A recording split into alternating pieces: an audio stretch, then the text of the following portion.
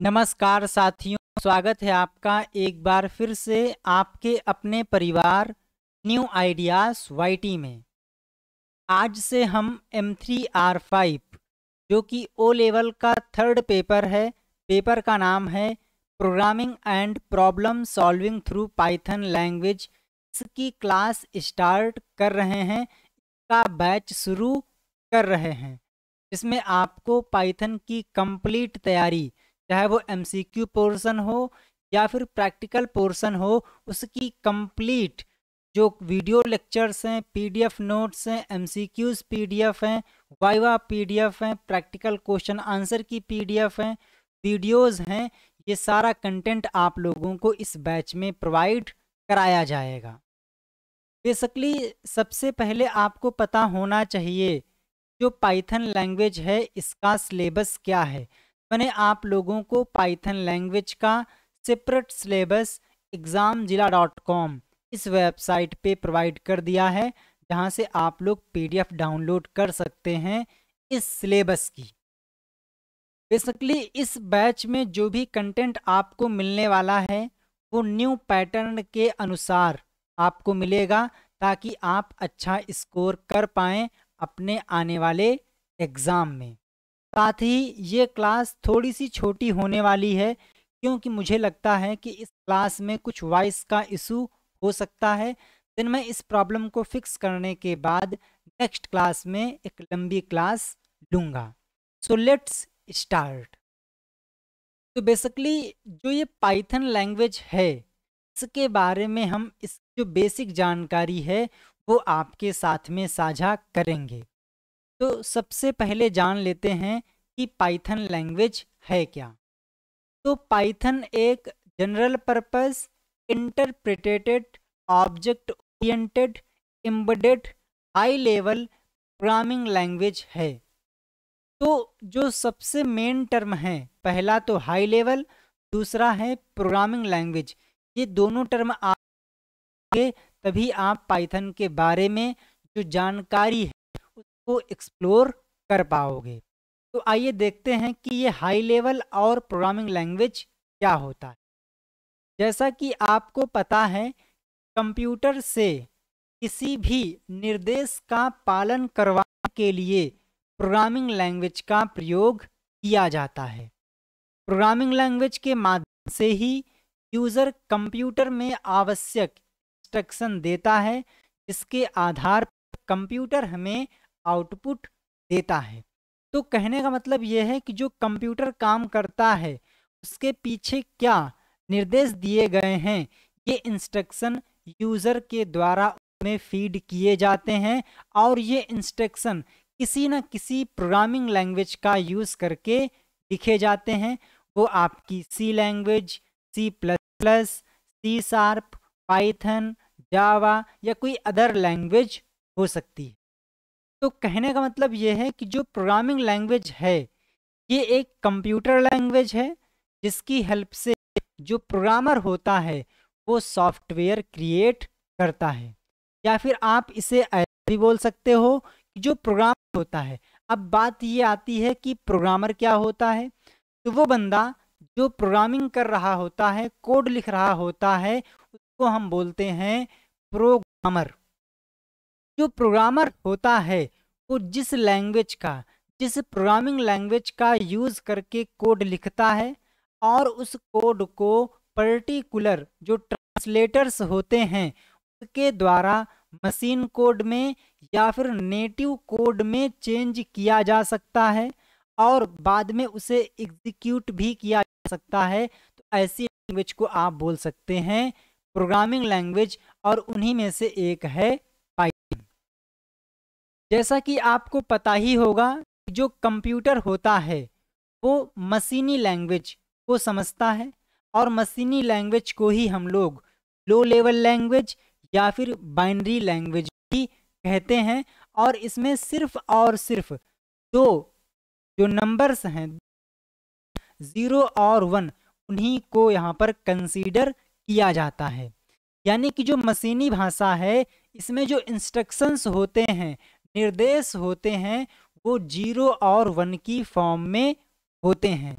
Zero का मतलब होता है ऑफ़ और वन का मतलब होता है ऑन तो कहने का मतलब ये है कि अगर आपको कंप्यूटर से कोई भी काम कराना है तो उसके लिए आपको जो निर्देश देने हैं इंस्ट्रक्शन देने हैं, वो ज़ीरो और वन की फॉर्म में ही देने होंगे, जो कि काफ़ी टफ हो जाता है डिफ़िकल्ट हो जाता है एक यूज़र के लिए।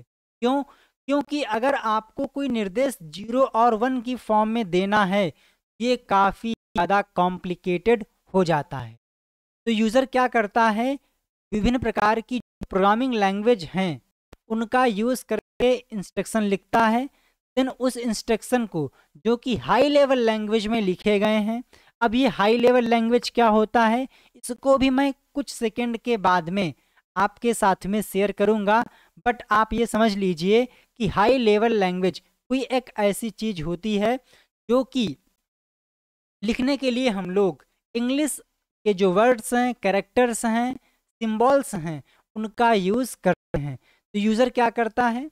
एक आसान भाषा में हाई लेवल लैंग्वेज में इंग्लिश वर्ड सिंबल्स का यूज़ करके कोड लिखता है, जो कि पर्टिकुलर जो प्रोग्रामिंग लैंग्वेज है, उसके सिंटेक्स को, उसके कॉन्सेप्ट को फॉलो करते हुए लिखा जाता है।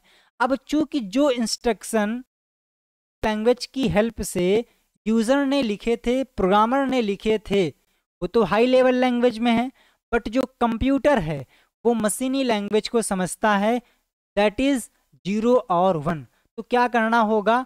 हाई लेवल लैंग्वेज में लिखे गए कोड को हमें मशीनी कोड में कन्वर्ट करना होगा, लो लेवल लैंग्वेज में कन्वर्ट करना होगा, ताकि कंप्यूटर उन इंस्ट्रक्शन को समझ सके और एग्जीक्यूट करके हमें जो आउटपुट चाहिए था उस इंस्ट्रक्शंस के करस्पॉन्डिंग वो हमें मिल सके।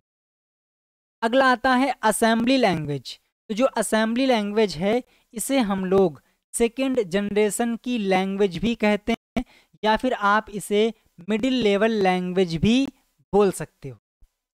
असेंबली लैंग्वेज मशीनी लेवल लैंग्वेज से अधिक एवं प्रभावशाली होती है, जो कि एक विशेष प्रकार के कोड का प्रयोग करती है। हुआ क्या? शुरुआत में जब कंप्यूटर बनाया गया तो उसमें जो इंस्ट्रक्शन हैं, वो ज़ीरो और वन की फॉर्म में ही दिए जा रहे थे, जो कि काफ़ी ज़्यादा कॉम्प्लिकेटेड था डिफ़िकल्ट डिफ़िकल्ट था प्रोग्रामर के लिए। तो उसको और इजी बनाने के लिए बनाई गई असेंबली लैंग्वेज जहाँ पे जो प्रोग्रामर था, वो कुछ बेसिक कोड जो कि उसका सिंटेक्स था, उसको फॉलो करके लिख रहा था, जो कि मशीन लैंग्वेज से थोड़ा सा इजी था।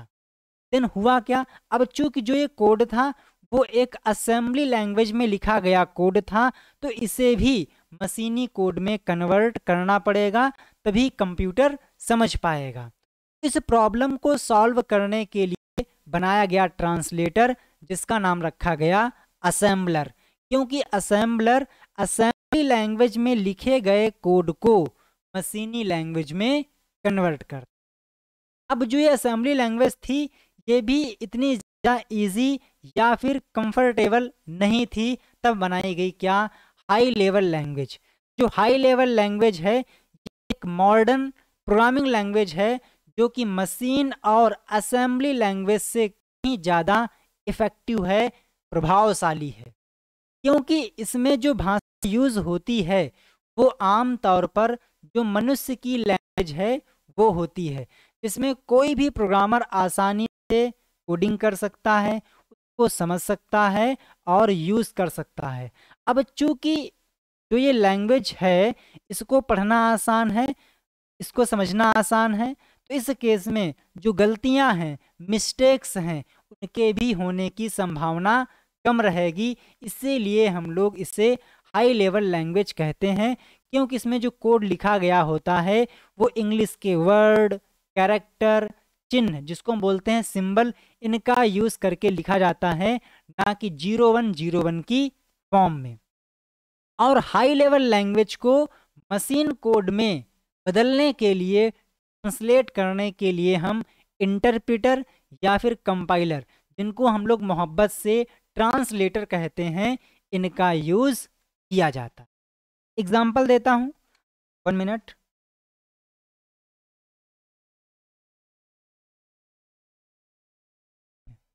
अपने मैं ओपन करता हूँ पेंट।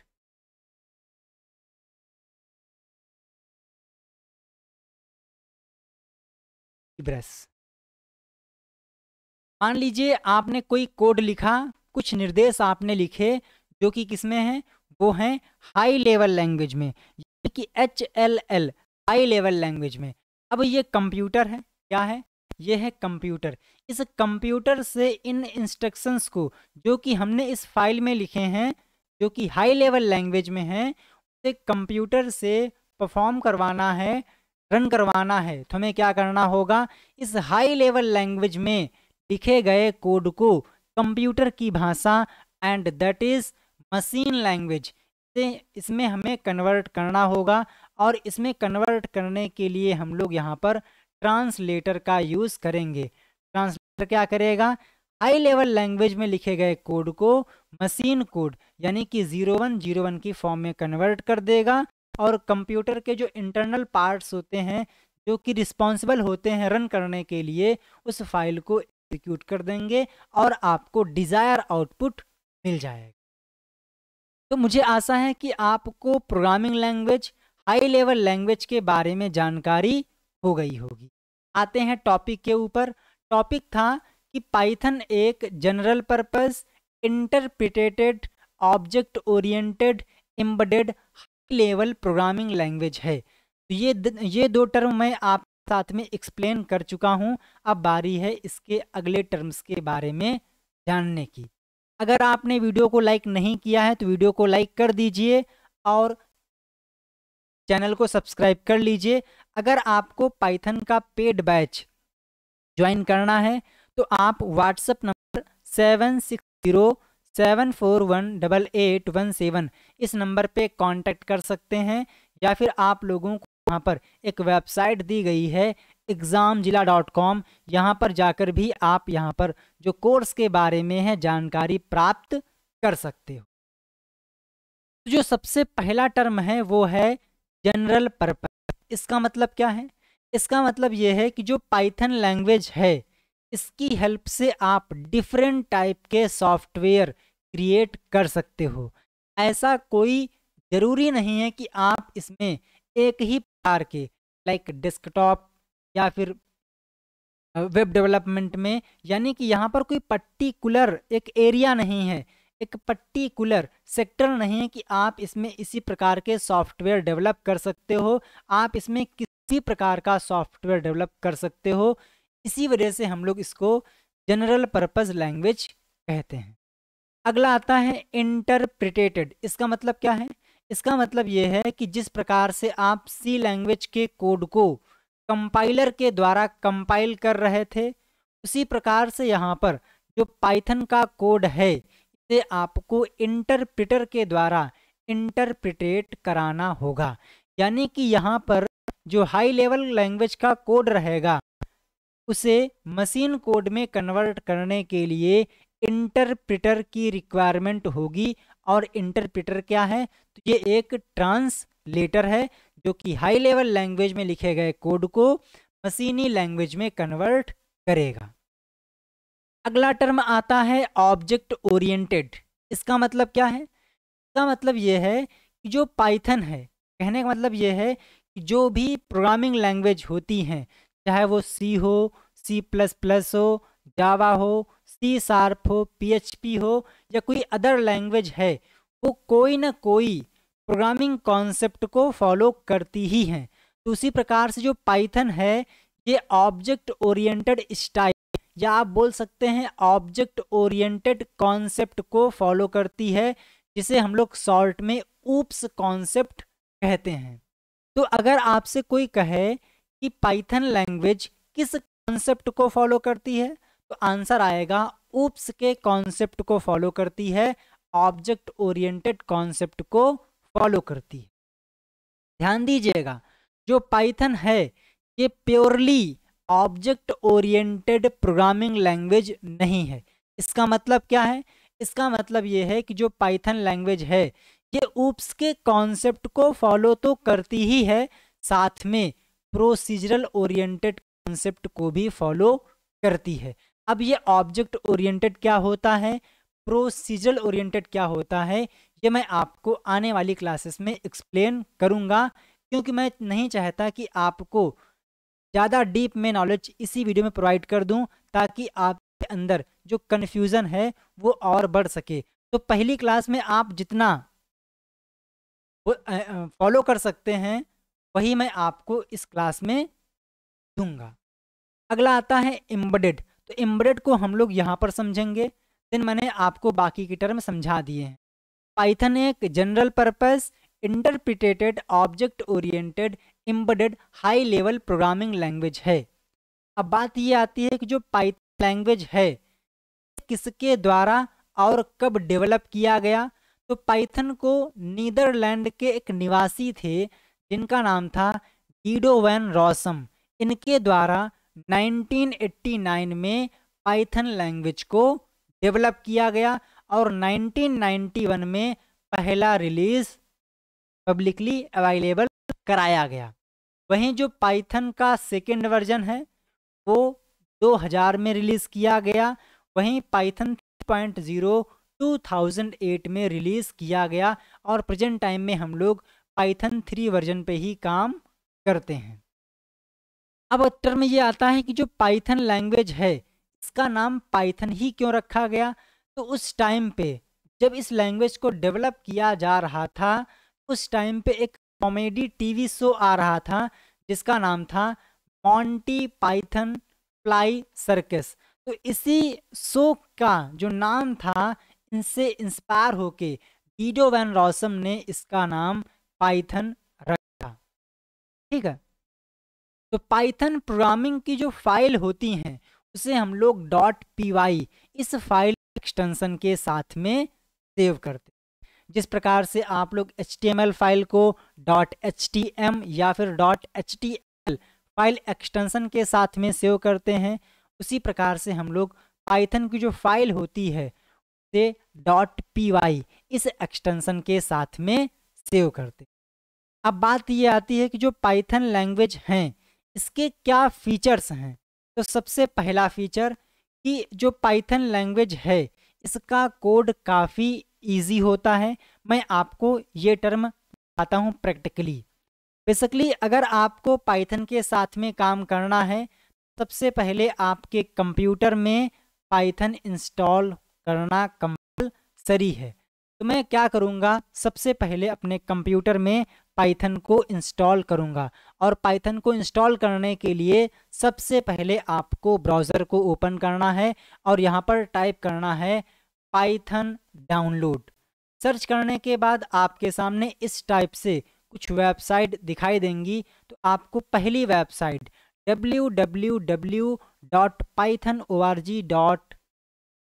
ठीक है, इस वेबसाइट को ओपन करना तो हमने इस पर क्लिक कर दिया ठीक है इस पर क्लिक करने के बाद आपके सामने इस टाइप से इंटरफेस आएगा तो प्रेजेंट टाइम में पाइथन का सबसे लेटेस्ट वर्जन है, वो यहाँ पर शो हो रहा है और वो है पाइथन 3.10.4 अगर आप विंडोज़ 10 यूज़ करते हैं तो जो ये लेटेस्ट वर्जन है, ये आपके कंप्यूटर को सपोर्ट करेगा, बट अगर आप विंडोज़ सेवन का यूज़ करते हैं तो आप लेटेस्ट वर्जन कतई यूज़ ना करें। आपको क्या करना है? अगर आपका विंडोज़ टेन है तो सिंपली आपको इसी लिंक पे क्लिक कर देना है और जो ये पाइथन का पाइथन है, ये डाउनलोड होना शुरू हो जाएगी और यहाँ पर डाउनलोड भी। तो सिंपली मैं इसको ओपन करूँगा बट बात ये आती है कि अगर मेरे, अगर मैं विंडोज़ सेवन यूज़ करता हूँ तो मुझे कौन सा वर्जन इंस्टॉल करना चाहिए? तो सिंपली आपको विंडोज़ वाले आइकॉन पे क्लिक करना है। मैंने यहाँ पर इस लिंक पे क्लिक कर दिया है और आपको यहाँ पर 3.5 के समथिंग जो वर्जन्स हैं, उसको आप डाउनलोड और इंस्टॉल कर सकते हो।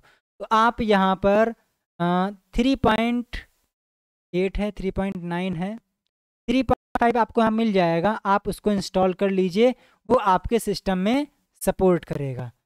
तो वन मिनट मैं आपको दिखा देता हूँ ताकि आपको बाद में दिक्कत ना हो। तो आप थ्री पॉइंट सिक्स भी यूज़ कर सकते हो। तो एक बात और कि अगर आप विंडो सेवन का यूज़ करते हैं तो आपके सिस्टम में सर्विस पैक वन इंस्टॉल होना चाहिए, तभी पाइथन वर्क कर पाएगी प्रॉपर तरीके से इंस्टॉल हो पाएगी। तो विंडो सेवन के लिए आपको 3.5 के समथिंग आसपास के जो वर्जन हैं, उसको इंस्टॉल करना है, साथ ही सर्विस पैक वन इंस्टॉल होना चाहिए। विंडो टेन के लिए सर्विस पैक वन की कोई रिक्वायरमेंट नहीं है। आप लेटेस्ट वर्जन आर से यूज़ कर सकते हो। तो अगर आपका कंप्यूटर 32 बिट का है तो आपको सिंपली इनमें से किसी एक लिंक पे क्लिक करना है। ठीक है? अगर 64 बिट का है तो जो स्टार्टिंग के ये लिंक्स हैं, ये 64 बिट के लिए हैं और ये 32 बिट के लिए हैं तो आप इनमें से किसी भी एक फ़ाइल को डाउनलोड और इंस्टॉल कर सकते हो। तो मेरे कंप्यूटर में डाउनलोड हो गया था तो मैं यहाँ पर उस को इंस्टॉल कर लेता हूँ। ओपन फ़ाइल मैंने क्लिक कर दिया है। देन आपको यहाँ पर इंस्टॉल नाउ इस पर क्लिक करना है। इस पर क्लिक करने के बाद आप यस पे क्लिक कर दीजिए। जिस पे क्लिक करने के बाद जो पाइथन है, ये इंस्टॉल होना शुरू हो जाएगा तो मुझे यहाँ पर थोड़ा सा वेट करना है। तब तक कि मैं आपसे कुछ क्वेश्चन पुटअप कर देता हूँ कि आपके एग्ज़ाम के लिए इंपॉर्टेंट रहेंगे। तो सबसे पहले तो आपको कमेंट करना है कि पाइथन लैंग्वेज को किसके द्वारा डेवलप किया गया है? नंबर दो पाइथन का सबसे जो लेटेस्ट वर्जन है, वो कौन सा है? पाइथन वन पाइथन टू या फिर पाइथन थ्री तो मेरे कंप्यूटर में पाइथन सक्सेसफुली सेटअप हो चुकी है इंस्टॉल हो चुकी है तो मैं इसको यहाँ से क्लोज कर दूँगा। अब बात ये आती है कि कैसे कंफर्म हो पाएगा कि पाइथन सिस्टम में इंस्टॉल हुई है या फिर नहीं।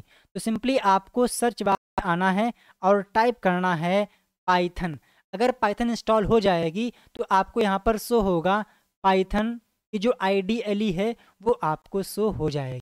तो हमने सिंपली यहाँ पर पाइथन पे क्लिक कर दिया और आप देखेंगे जो पाइथन का प्रॉम्प्ट है, वो ओपन हो चुका है। अगर मैं इसको चेक करना चाहूँ तो मैं यहाँ पर लिखूँगा for example five plus ten मैंने इंटर किया तो यहाँ पर लिख के आ चुका है फिफ्टीन यानी कि ये प्रॉपर तरीके से वर्क कर रहा है। तो आपको समझ में आ गया होगा कि पाइथन को कैसे इंस्टॉल करना है। अब बात ये आती है कि जो टर्म है फीचर्स में इजी टू कोड इसका मतलब क्या है? इसका मतलब बिल्कुल सिंपल सा है, मैं आपको दिखाता करके। तो हमने यहाँ पर पाइथन को ओपन कर लिया है। पाइथन जी।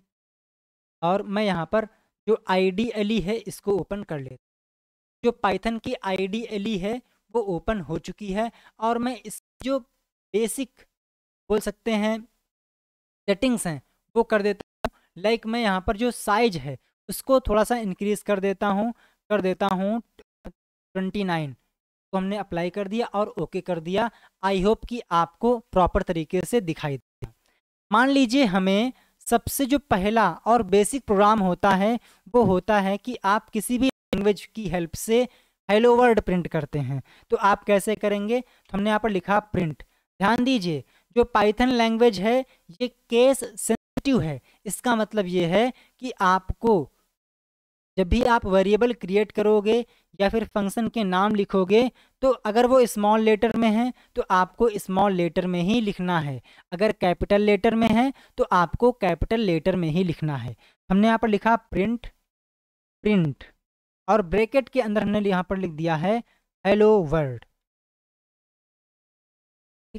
मैंने एंटर की हिट किया तो यहाँ पर लिख के आ चुका है हेलो वर्ड तो अगर आपने सक्सेसफुली अपने कंप्यूटर में हेलो वर्ड प्रिंट कर दिया है तो आप अपने आप को धन्यवाद दीजिए और आप सोचिए कि आपने पाइथन की हेल्प से पहला प्रोग्राम प्रिंट कर दिया है, सक्सेसफुली एग्जीक्यूट करवा दिया है।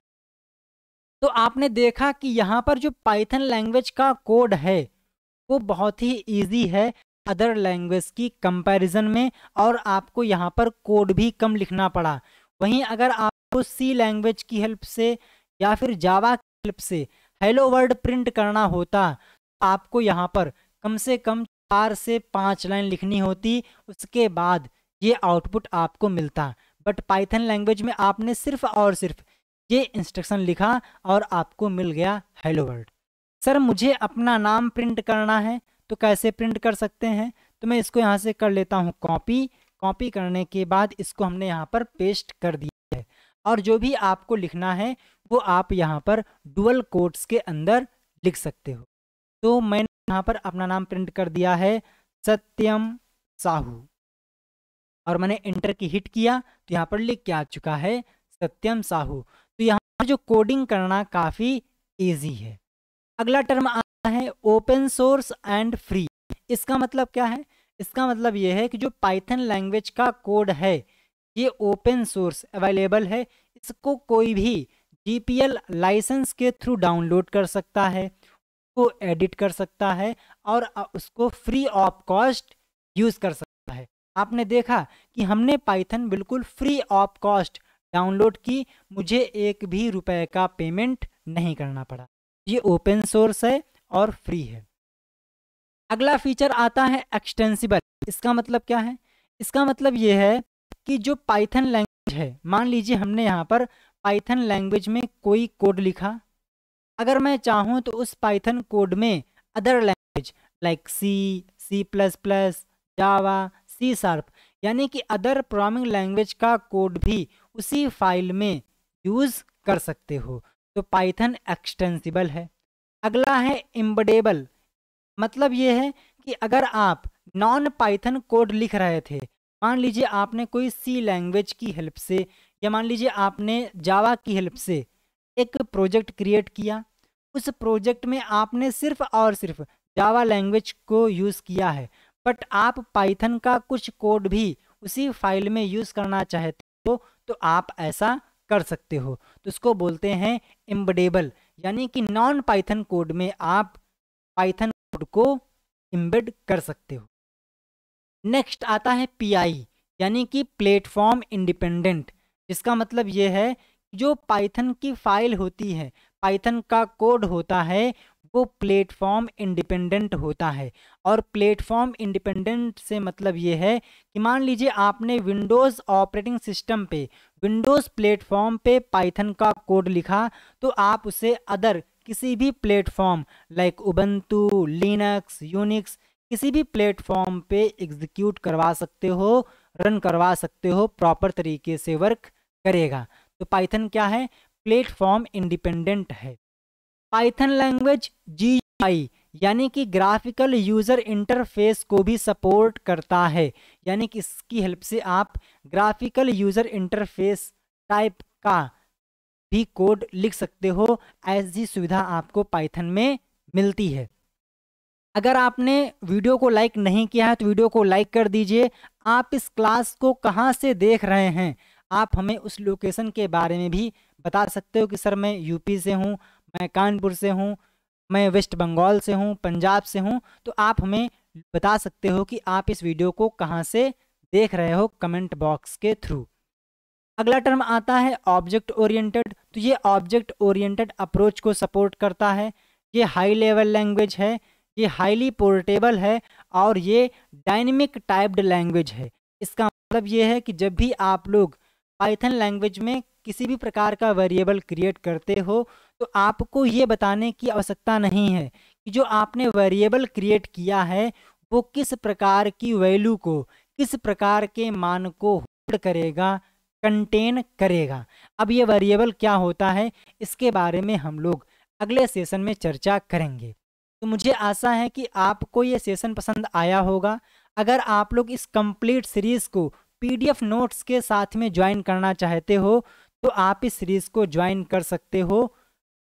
जो पीडीएफ का डेमो है, वो मैं आपको अगली क्लास में दिखा दूँगा, या फिर आप व्हाट्सअप नंबर पे मैसेज करके भी पाइथन पीडीएफ का जो डेमो है, उसको प्राप्त कर सकते हो। तो गाइस, मिलते हैं नेक्स्ट क्लास में, तब तक के लिए जय हिंद। Thank you friends.